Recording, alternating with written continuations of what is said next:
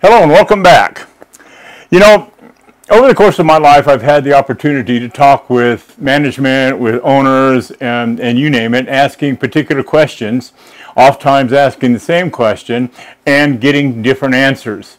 And what that's taught me over the years is that sometimes a little bit of investigation into what you're being told is a good thing. As a matter of fact, it, it's always a good thing not to just take somebody's word for it. And freeze drying is exactly the same way. Most people, they're not interested in investigating to see what they can do to ask themselves the questions like, do I have to use this much energy? Does it have to dry this long? Does, uh, is there a more efficient way to do things? Most people, when they get a freeze dryer, they want to they want to come home, they want to set it up, they want to follow the instructions, and they want to have a, a freeze dried product that they can store for, for for 30 years. But the problem with that is there are um, tips and tricks and things that you can do to be uh, more efficient, uh, to make your equipment last longer, to um, not use so much energy. And so over the course of the last few months, what I've tried to do is kind of focus on that side of it a little bit, okay? And that's exactly what I'm doing here. We're talking about something that I've uh, designed and engineered and put together. Uh, this is an inline air filter that you put between your vacuum pump and the freeze dryer. I've ran uh, probably six or eight batches on it. It works very, very well. And now I'd like to show you how you can build one. This is going to be a three-part series. This first part, we're going to discuss the why. In the second part, we'll talk about the parts list and the prefab. And in the third part, we'll actually, I'll actually demonstrate how I built this one right here. Okay, and so with that, I'm Evan Rowell, and this is Critical Thinking about filtration.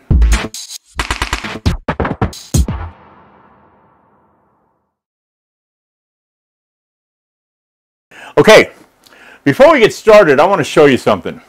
I want to show you what kind of led me to the idea that having a inline filtration unit is a good idea.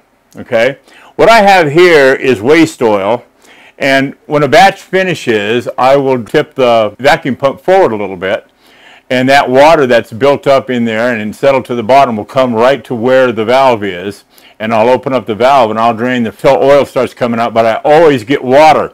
And this much down here this is water probably over you know a lot of batches okay? But what I have here what I want you to see I want you to take a look at this picture.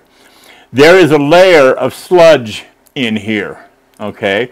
And the oil that's on top of it here is dirty and uh, it doesn't look like it's going to separate out. You can see that sludge, although it's very, very thick down here, you can see it is still permeated the oil, and it is until you get to the very top where the oil actually begins to clear. And uh, this got me thinking when it comes to equipment and the necessity of filtration. When you think about it, for as long as there's been machinery, people have felt the need to filter the air before it gets into their machinery. I mean, cars are a classic example of that. In industry, you're going to find filtration units that filter air and water for that matter of fact. Uh, but we're going to talk particularly about air because air carries a lot of impurities, okay? It carries dust. It can carry particulate um, you get particulates down around uh, 5 to 10 microns and it will remain suspended in the air and it'll, it's going to go where that air is going to go. And after I saw this, I come to the conclusion that it was necessary or at least it would be a good idea if there was some kind of a filtration unit between the vacuum pump and the freeze dryer.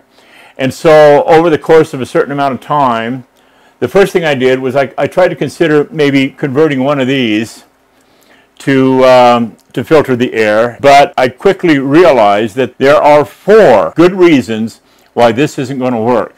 And I'm going to go over those one at a time, and I will show you through this cutaway how it is that I overcame the problems that you'll have with this type of a unit, okay? So the first thing, as I was looking at it, I noticed that there's a little check valve up here that these things are designed for pressure. They are not designed for a vacuum. And uh, the first thing you would have, I would have to do is I would have to take this check valve out of here and I would have to epoxy this thing closed because this thing is, is a vacuum leak. But more than that, I want to talk to you about this.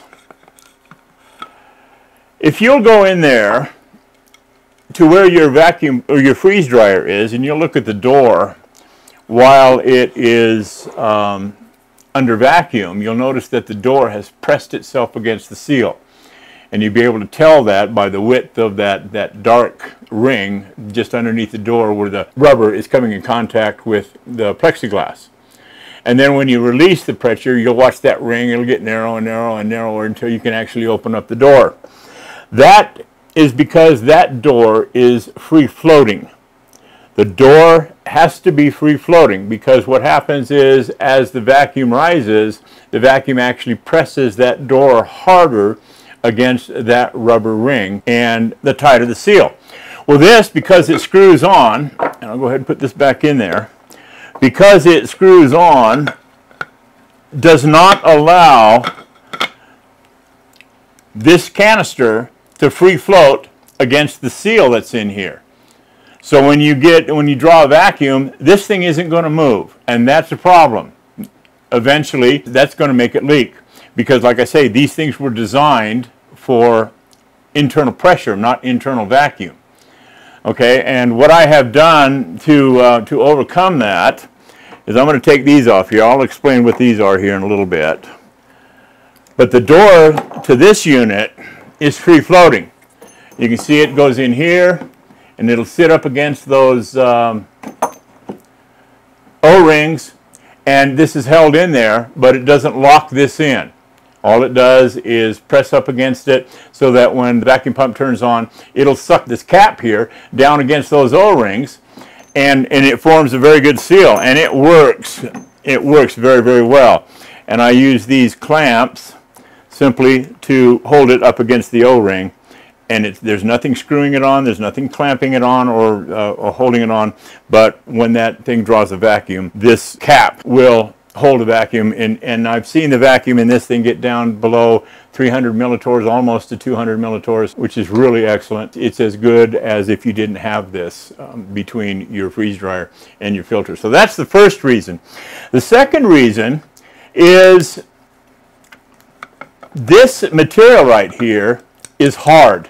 This is, there is no flex in this at all, which means if you, even if you do manage to get a vacuum in this, it's only about, I'd say, maybe a quarter of an inch thick on these walls. And as you apply a vacuum and then you let the vacuum go and apply a vacuum and let the vacuum go, this stuff has been known to crack.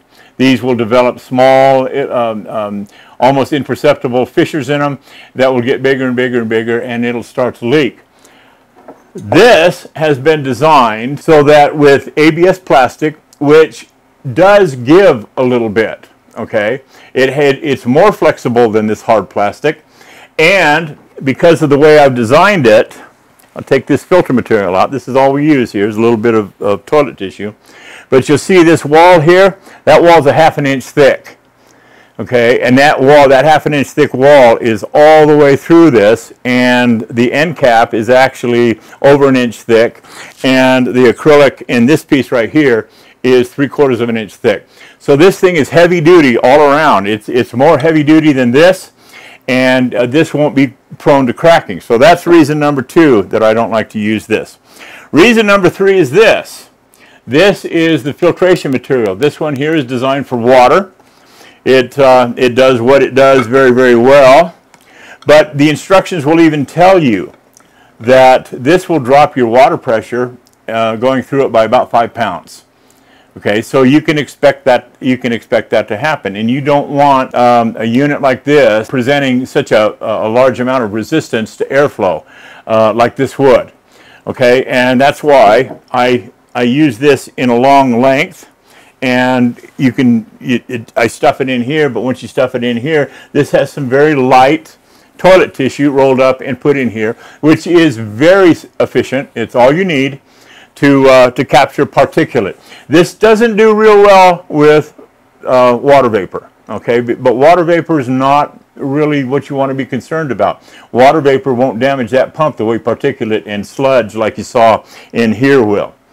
And um, how I got this much sludge in there, incidentally, was I ran a batch, and then what I do uh, after I run a batch, if I'm going to use the freeze dryer as a uh, vacuum packer, I will avoid changing the oil because uh, I, I, do change the oil between every batch. So I'll avoid changing the oil long enough to do my uh, vacuum packing, and then I'll, then I'll change the oil and, and, and refresh the oil, and, uh, and then I'll set up for the next batch. Well, it just so happens that after that batch was done, I had set up to do the vacuum packing. I vacuum packed about, I think it was 12 or 14 Mylar bags, which means I had to run the vacuum packer about four times to vacuum pack that many uh, Mylar bags. And then I did something that I shouldn't have done. I mean, I just forgot, is when I put the new batch in, I forgot to change the oil. And so I let that oil run for another 55, 60 hours on, a, on another batch. And this was the result. Most of that sludge that you see in there came out of one oil change. And it came out looking like mud.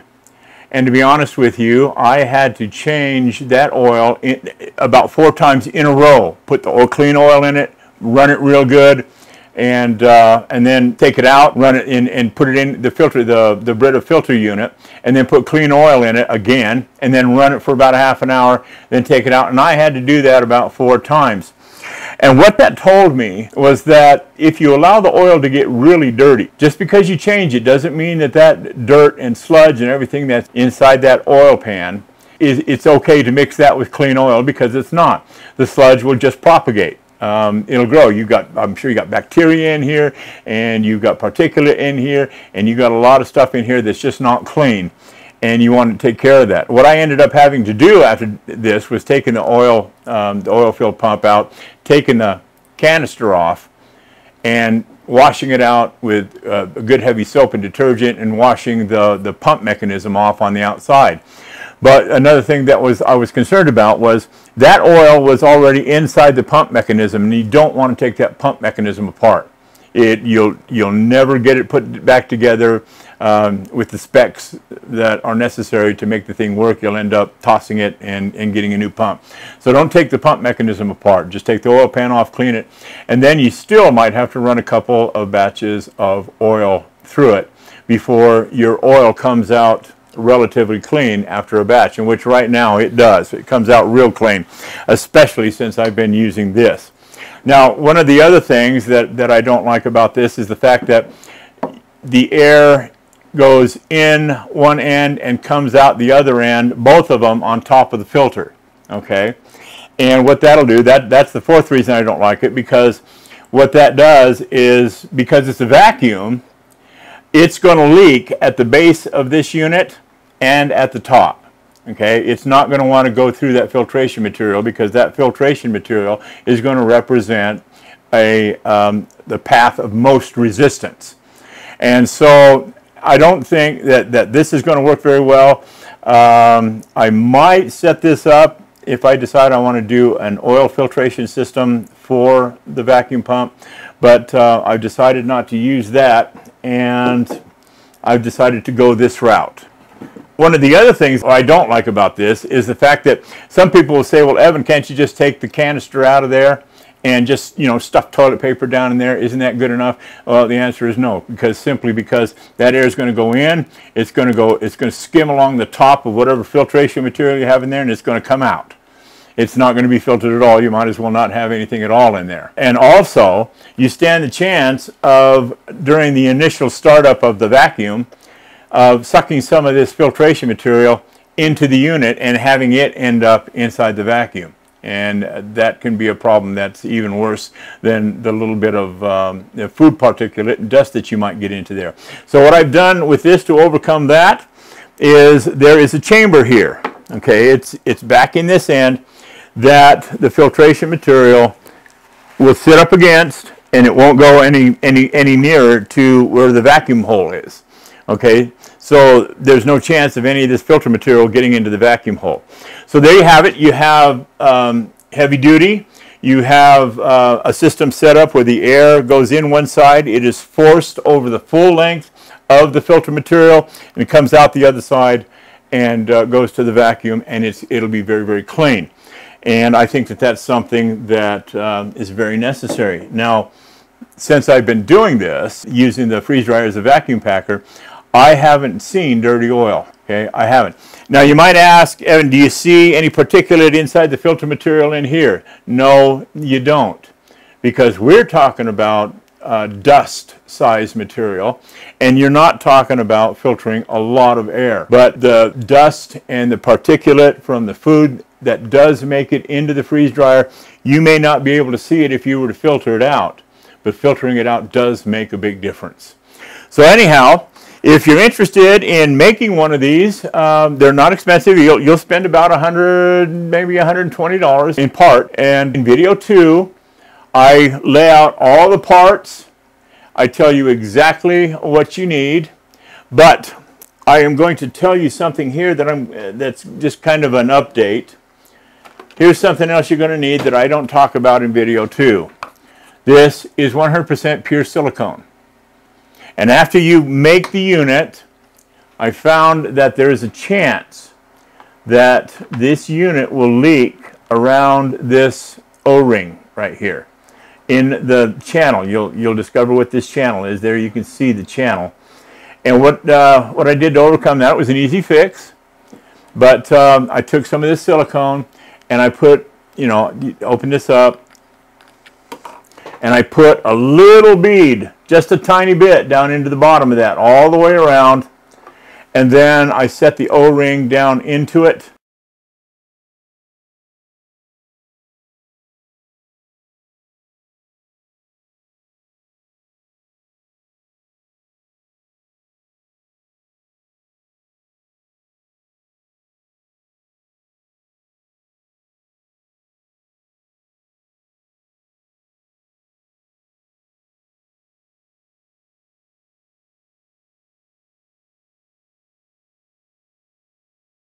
So anyhow, we'll end this video. It's relatively short right here. Um, in video two, we will, um, I'll show you and give you the parts list and the prefab. Okay, things that you'll have to order, things that you'll have to have on hand, things that you'll have to do with some of the, the parts. In other words, you'll, you'll have to pre-cut these, uh, these inner pieces to size uh, there's some beveling that's going to go on. There's a, a piece of three-quarter inch um, acrylic that you're going to have to get. It's um, 12 inches square. You can order it from Amazon, but that has to come in. I'll show you how to fabricate the pieces that go in here. Uh, this divider that prevents the uh, filter material from coming in coming in contact with the end of the vacuum hose and other stuff like the O-rings. I'll, I'll give you a complete list of everything that you're going to need. Okay, and then in video three, once you've gathered all the necessary parts and, and tools and everything together that I'll show you, um, I will actually take you out into the garage and we will build this unit. You'll be able to watch me build this uh, from the ground up. And you'll, by the time you're finished, you're going to understand why this unit will do the job of removing dust and particulate from out of your system so that it doesn't make it into your vacuum pump and you're going to understand why that is extraordinarily important. It could add 25 to 30 percent more time on to how long your vacuum pump will last before it wears out and has to be um, replaced. And for me, that, that's quite a savings. That alone will more than pay for the cost of building this uh, torpedo filter. I'd like to call this a torpedo filter. Um, Anyhow, with that, I'm going to end it here, and I'll see you on video two. I'm Evan Rowell, and this is Critical Thinking about dust.